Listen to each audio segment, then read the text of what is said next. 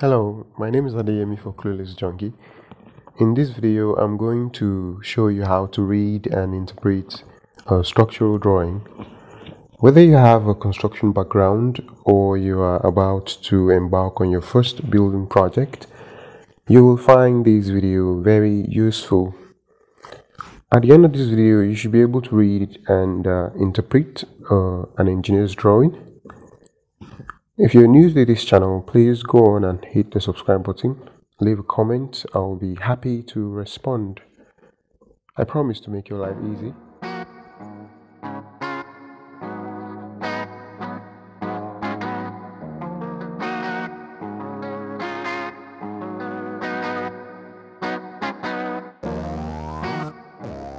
So let's jump right into it.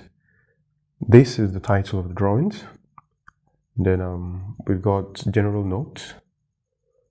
Uh, this talks about the concrete mixture, which is a ratio 1 to 2 to 4. Then um, the recommended concrete cover, the floor slab, beams, columns, column footings, and walls, all that. So the next item is a foundation floor plan layout. This one basically shows the arrangement of the column footings and the type of columns they are. So this for this first one is about is C1, which is column one. Then the footing is B1, base one. Now let me show you what this is about. This B1 details the kind of footing for the column column C1. So let's go to B1. Let me show you what this is about. So base type B1 uh, shows the dimension of the footing, which is 1.5 meters by 1.5 meters. And then uh, we have the arrangement of the footing mesh with its length of y 16, which is 16 mm rods rebar at uh, which is 200 centers. It's 16 mm rods on this part and then eight 16 mm rods on this part. And then this is a section cut showing, showing section AA, which is up here. And this shows a section of this footing. Then uh, for this base type B2, the location is on uh, this area. Say B2, yeah, that's it there.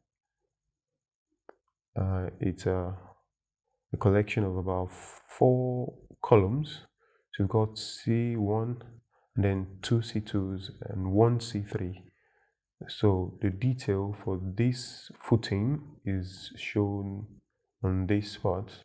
This is the width of the footing, 1.5 meters by 2.625 meters. Uh, and then it shows the arrangement of the rebar of the mesh of eight 16 mm rods on this part at uh, 200 top and bottom mesh. then our 14 16 mm rods at 200 spacing, top and bottom. And then this is a section, BB, which is up here. Uh, this clearly shows the bottom mesh and then the top mesh, then the height of the concrete casting is also shown here. Moving on, for column C1, I'll show you the detail of this uh, column is on uh, that is on the column details part. So this is column type C1. The dimension for column type C1 is 230 mm by 230 mm, which is basically a square. Now, this is the starter column.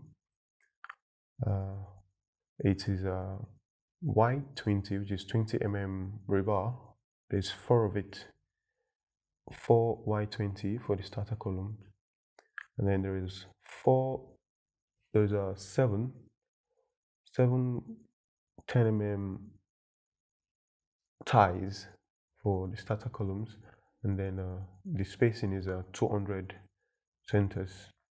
That's 200 centers, except otherwise stated. Now, this starter column goes project on top of the oversite concrete, and then enough enough room is given for the lapping, and then it illustrates here that is a is shown here as 750 mm for the lapping between the starter column and then the extension column. You realize that this 750 mm is actually just starts from on top of the screeding 75 mm screeding. and this is the oversite concrete and then uh, we have a 750 plus 75 which is about 825 mm then plus uh, 150 m75 millimeters for this lapping from for the starter columns. Now, the height of from the top of the cassette footing to the height of the oversite concrete is about 1,500 mm, and then the the links I think I've said this before the the ties for this starter column is 10 mm and it's 7 in numbers. So for the extension columns is four 20 mm rods and uh, the number of ties for this column is 14 10 mm rods 14 10 mm rods at 200 centers and then we have a section view of this column this section one and that is available here. Basically, these other ones are just a repetition of what's down under, except uh, for the last floor, which is about, which is the second floor. The Y20 changes to Y16, but the number remains 4. And then the section here, the section view here, section 1 is shown here. This basically shows the section showing the, the column tie and then the arrangement of the rebar, the four Y20 mm rods inside. Moving on, column type C2, which is found here. This there is about four of these C2 types. There's one, two, three, four. Then the C2 is the start columns shows that uh, there is 6 y16 mm rods here and then mm, the diameter is 300 300 diameters and then the the ties for the column is 10 mm rods seven of it 200 centers for the spacing except otherwise stated this project also just as the other ones. Mm, and then the section, section 2 is shown here. You can see clearly that this is a circular type column. It's, then diameter is uh, 300 millimeters. Then the section shows clearly the arrangement of the six rebars for the column. So that goes on for the other column types. The next item is uh, the beams layout, the first floor beams layout. Um, basically, this shows clearly the type of beams, uh, the details for each beam. For beam one, from this part to this end is the whole of beam one, and then beam two also starts from this part to this other part. The same length has been one, but different details. You can see clearly that the number of columns on beam 1 is clearly different from that on beam 2. That goes on for the other one. Let's say beam 3. Beam 3 is a short one. It starts from this point to this point. Then beam 4 starts from this column to this other column. Then um, beam 5 starts from this point to this point. Then for beam 6, beam 6 goes from here to this point.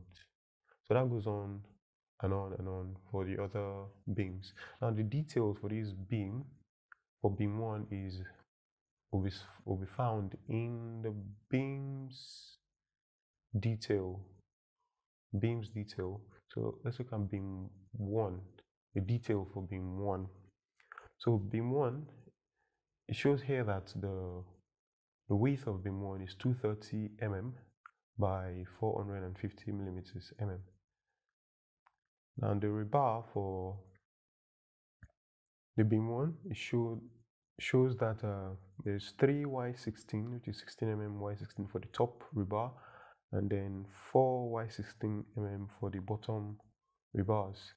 This section shows the arrangement of the rebars in the stirrups.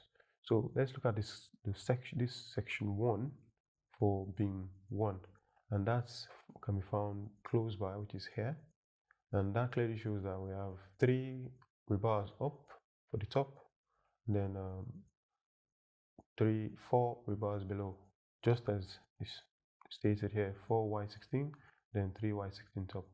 And then the, the stirrups for this beam, the entirety of this beam is uh, 80 units. So we have 80 units of 10 mm rods at uh, 200 centers.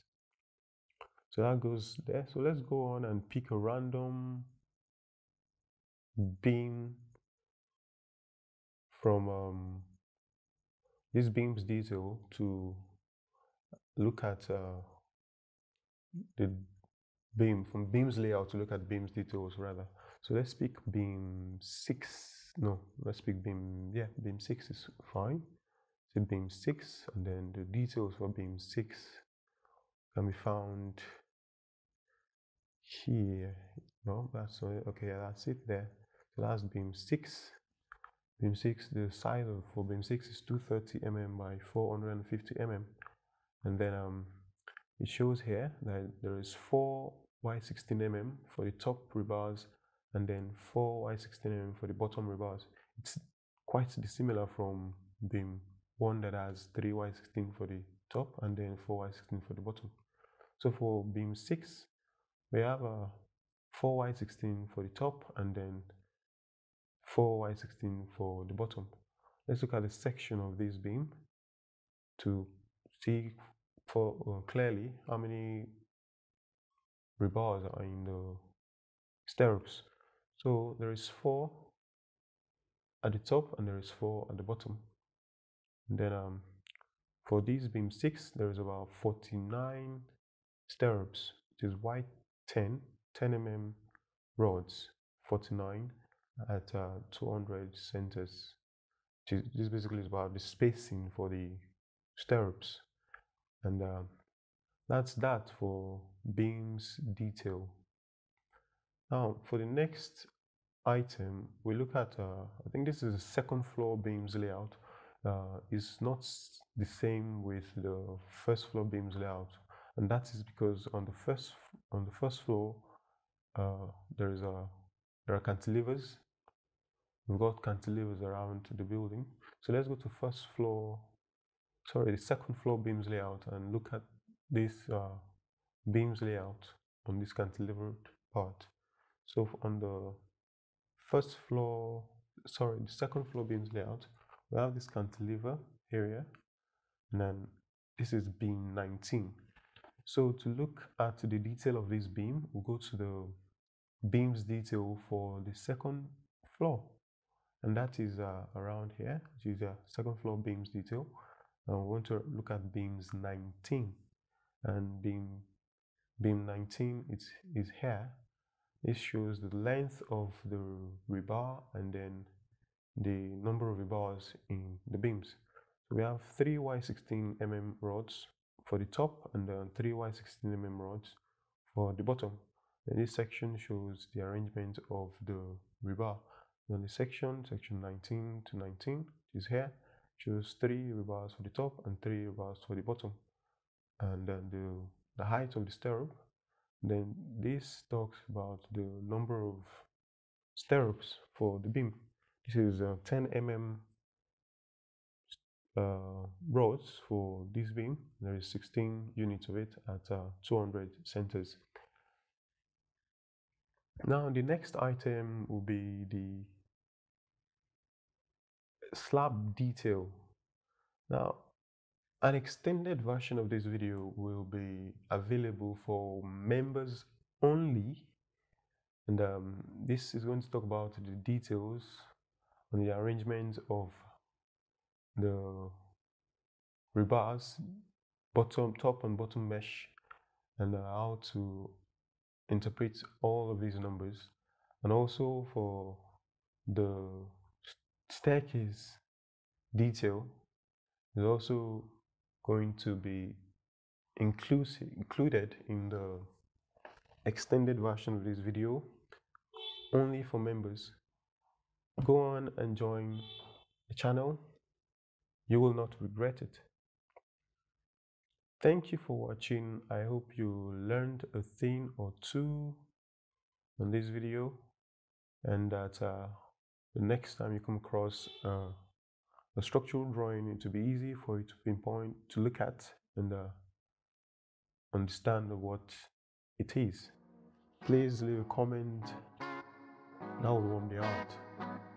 See you on the next one.